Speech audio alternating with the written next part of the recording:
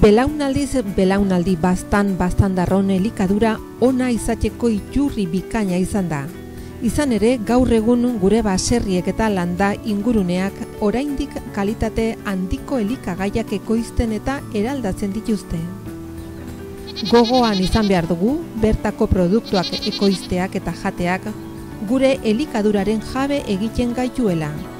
Landa ingurunea, baserriak eta paisaia zaintzen laguntzen digula.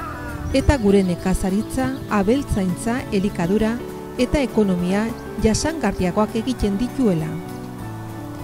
Zentzu horretan baztango udalak sektore hori bizirik irauteak duen garrantzia defendatzen duenak bastandarrok jakinaren gainean egotia eta sensibilizatu nahi ditu bertako produktuak jatearen garrantziaren inguruan. Hori dela eta elikagaiok geure eguneroko elikaduraren parte izateko helburuarekin zerrian alako bastan proiektua martxan jarri du.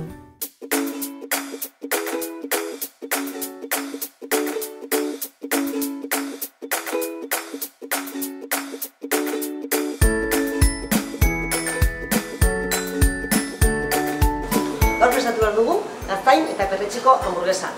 Ba, udazkenean dagoen e, sasoi bete-betean e, frutu bat dugu, e, gaztaina, eta horrekin, ba, hamburguesa bat prestatuko dugu, dena barazkekin egina. Udazkeneko baratzea. Ezin dira aldaketak sustatu ekoizpen iraunkor baterantz, konsumo ohituren aldaketa bat ere bultzatzen ez bada.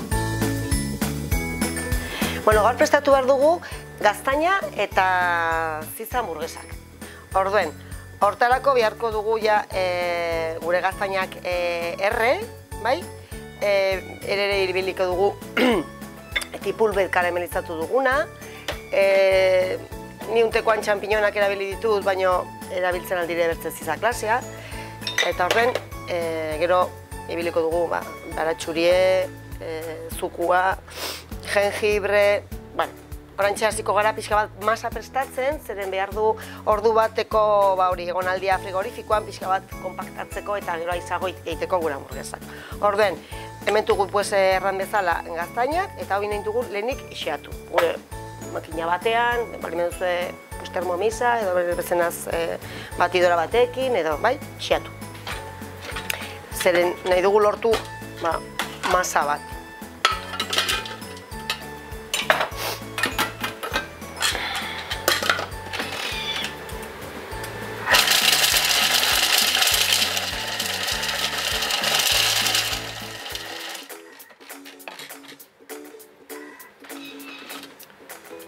Bueno, pixket ziatu direlaik, gehituko dugu bertze osagaiak. Orduen, mentxe berian,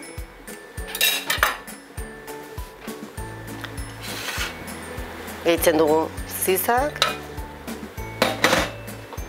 tipule, baratxurie,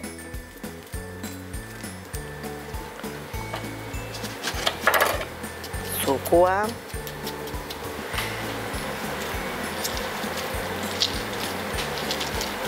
lima edo limon batena,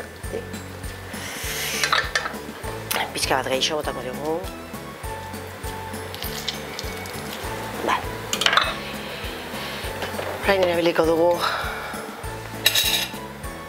salsa de soja, bat, bide, eta hiru.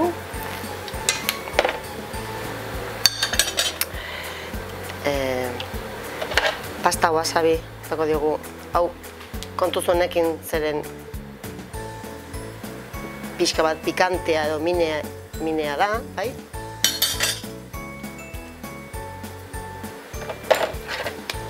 Jengibre errautxan ere bai.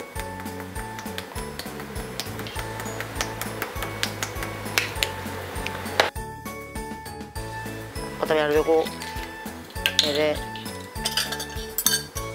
txantxagoxo pixka bat.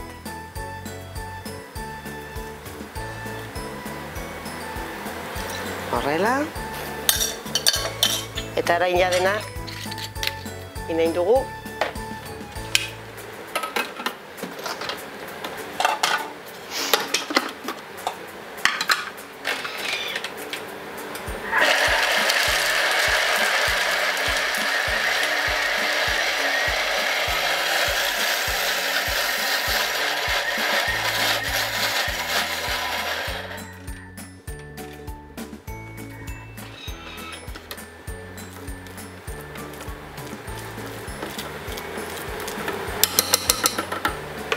Pizka gehiago emango dugu.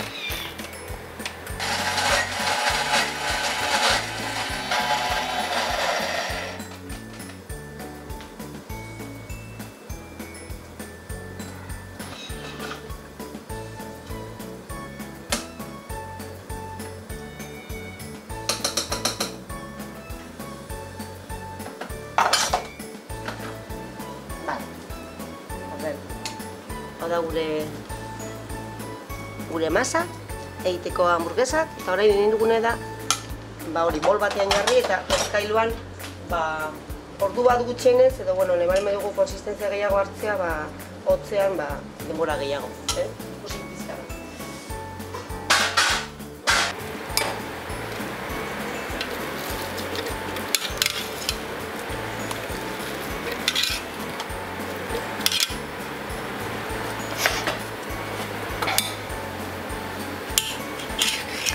Hor ezkailura jarriko dugu, bai? Ezkailura. Gaztaina karbonohidrato gutxi eta gantz gutxiko frutu lehorra elikagai piramidean zerealen maila berean dago.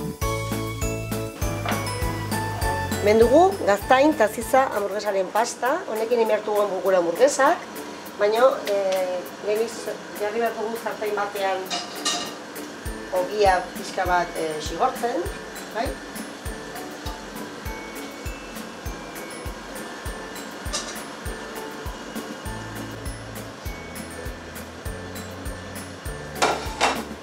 Jarraitzen dugu e, gaztain eta zitza hamburguesakin, ordenaren badugu bi kutsarada maonesa, e, jarriko dugu ez pikin bat, horrela, hazi olio bat, hau intxaurren, intxaurrena da, pikin bat ere bai, eta salsa picante, pues, tabasco, delako, zerbait ere bai.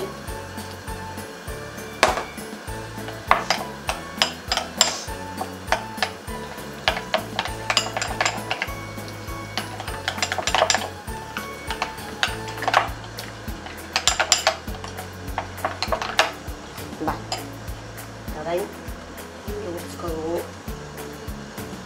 gure ogia bialetatik.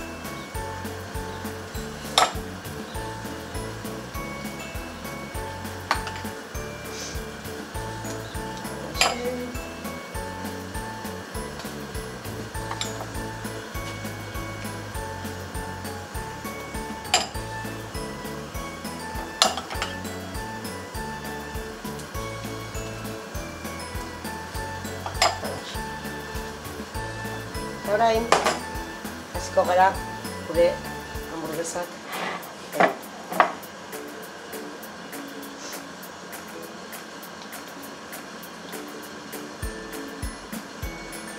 Horrela bat, adibidez, lantxan jarriko dugu.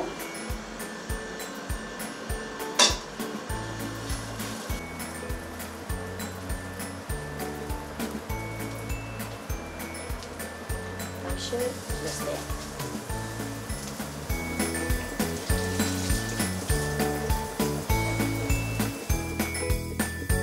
Baltzenekien gaztain ondoak usteko agak erabiltzen zirela.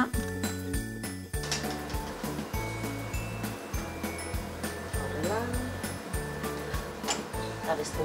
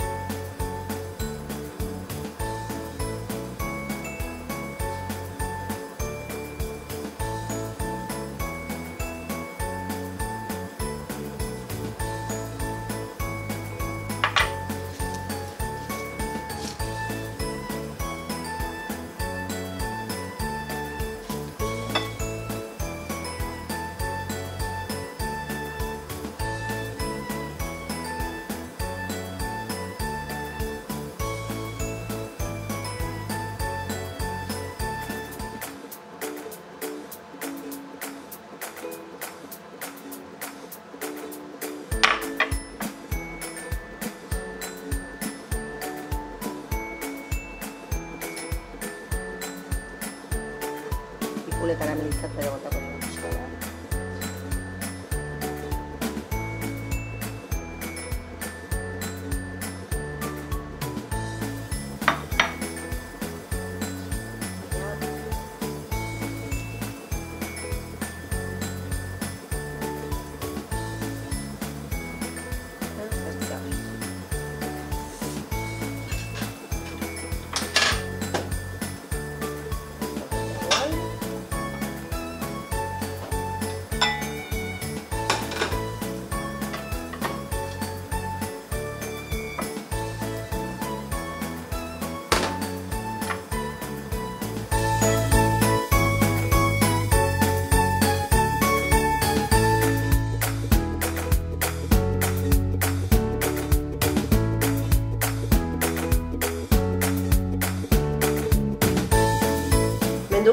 gaztain eta perretxiko hamburguesa.